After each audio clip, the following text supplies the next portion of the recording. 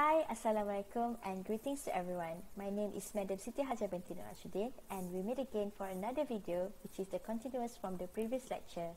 In this video, I will explain to you about the eukaryotic cells for their structure and their organelles. Before we move forward, let's take a look on the lecture contents. I'm sure that you all already covered with the topics of 5.1 and 5.2 but in this video, I will cover on the 5.3 and apart from the 5.4.1. The other part will be covered in the next video. So are you guys ready? Let's start. Eukaryotic cells. There are two basic eukaryotic cells which are the animal cells and the plant cells. Eukaryotic cells have organelles which include the nucleus and other special part. So what are organelles?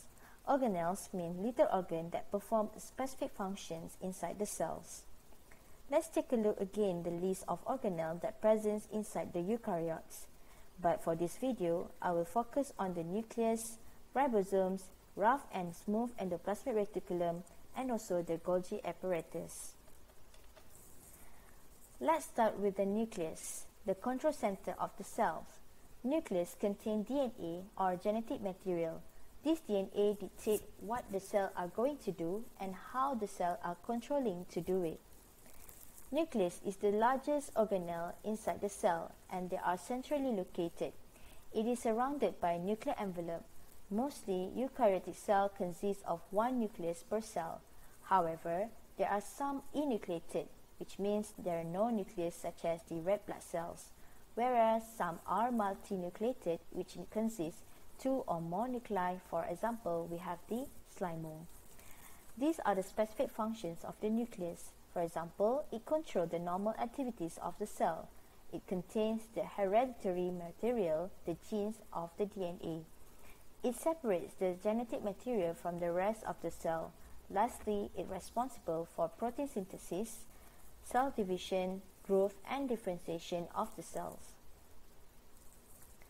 The structure of nucleus encompasses of nucleosome, chromatin, chromosome, nuclear envelope, nuclear pore, nucleolus, and also the nucleoplasms.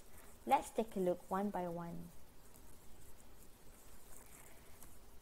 Nucleosome is the fundamental unit of chromatin, while chromatin is a tangled, spread out form of DNA and protein found inside the nuclear membrane. When the cell is ready to divide, reproducing a new cell, the DNA begin to condense and they will form a structure known as chromosome. So as you can see here, this is the chromatin and this is chromosome. Chromatin is a thin thread-like structure while the chromosome is a tightly packed DNA. They only can transform into a condensed chromosome during the cell division. Next nuclear envelope is a double membrane enclosing the nucleus perforated by pores and continuous with the endoplasmic reticulum. Along the nuclear membrane, there is a nuclear pore which allow and control the exchange of chemicals such as RNA and proteins. The nucleolus is a round darkly stained structure where it rich in proteins and RNA. It is mainly involved in the production of ribosomes. The final one is the nucleoplasm, the semi-fluid medium inside the nucleus. As you can see here, this diagram shows the structure of nucleus as a whole. So this is the nuclear envelope with the nuclear pores and inside the nucleus we have the nucleolus. The fluid here is called as the nucleoplasms. The chromatin is a thin thread structure where it will condense to form a chromosome during the cell division. The next organelle is ribosomes, the protein factory. Comparing to the nucleus just now, ribosome is the smallest organelle, or we say minute, inside the cell, but most numerous of the cell's organelle. It is composed of 40% of protein and 60% of RNA. As mentioned earlier, it is manufactured inside the nucleolus. Ribosome form into two subunits. One is large subunit, this one, and the other one is called the small subunit. It also have two types, 70S ribosome and 80S ribosome. The ribosome may wander free floating within the cytoplasm or attached to the endoplasmic reticulum. Let's get to know the function of ribosome specifically. Main function is for protein synthesis in a way of translating the genetic codes of DNA into a protein and also synthesize the enzyme for cells use. Okay, the types of ribosome, the free-floating and the bounded ribosome. The free-floating are suspended inside the cytosol mainly for synthesizing the proteins to be used inside the cells, while the bound ribosome are attached to the ER, also synthesizing the protein but mainly to be export for the extracellular. In this slide, show the 80S ribosome and 70S ribosome description. Most important is the 80S ribosome can be only be found inside the eukaryotic cell, while the 70S ribosome can only be found in the prokaryotic cells. Alright, here we go with the third organelle, the endoplasmic reticulum biosynthetic factory.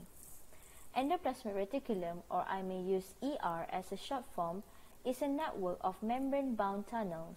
The flattened sac is called cisternae and the membrane of ER continuous from the nuclear membrane. Endoplasmic reticulum act as a secretory, storage, circulatory, and nervous systems of the cells.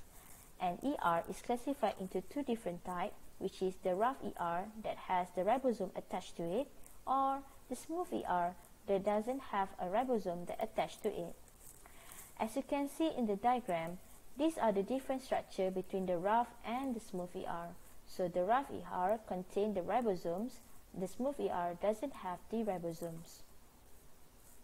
The rough ER, a network of continuous flattened sacs studded with the ribosomes, it continuous from the nuclear membrane. Its function helps to make proteins due to the presence of ribosomes. It will manufacture, process and transport for export from the cells and wrap into a transport vesicle. Next, the smooth ER. The smooth ER is a continuous membrane that consists of tubular vesicles and lack of ribosome on the outer surface. To be exact, it is extended membrane from the rough ER. Smooth ER are responsible for lipid production such as steroid and cholesterol, and also involved in carbohydrate metabolism. Apart from that, smooth ER also can detoxify drugs, alcohol, and poisons, and also for calcium storage. This diagram will show to you the two-dimensional and three-dimensional structure of rough and smooth ER the left image is the rough endoplasmic reticulum and the right image is the smooth endoplasmic reticulum. The next organelle is Golgi apparatus or also known as the receiving and shipping center. Golgi is a stacked flattened membranous sac called cisternae and it contains a numerous vesicle containing the secretory granules. Golgi will modify, store and routing the product from ER to the plasma membrane. It involves a packaging of protein before assigned and sending to the destination. That's why we said it is acting like the post office of the cell. Alright, this is the structure of Golgi apparatus. Golgi may have two different sites, which is the cis face that receive material by fusing with the vesicle and the second one is the trans face where bud of vesicles that form will travel to the plasma membrane. Golgi actually progress forward from cis to trans face by carrying and modifying their contents. Let's see how it performs. This is cis and trans face area and this is the cisternae and lumen structure. Firstly, the receiving process. A vesicle that buds from the ER will fuse the membrane of the cis face inside the Golgi. Next process is modifying, where the products of ER are usually modified during the transit from cis to trans region. Next, a sorting process. Before Golgi dispatches its product, it will sort the products and target for specific use inside the cell or to be export out. And lastly, the shipping process. The trans face give rise to the newly forming secretory vesicle that pinch off and travel to the other sides of the cells. Alright, this is diagram summarized of all organelles and structures we have learned in this video.